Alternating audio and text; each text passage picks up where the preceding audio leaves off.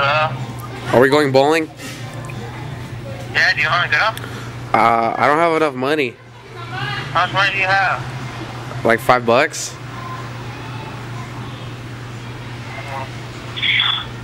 Tell him I gotta get my shoes still. And Sean wants his shoes. I'm not driving to his house just to get his shoes. Huh? What is? He doesn't want to drive to your house to get shoes. Oh, I'm not gonna pay fucking three bucks more. He doesn't want to pay for the shoes.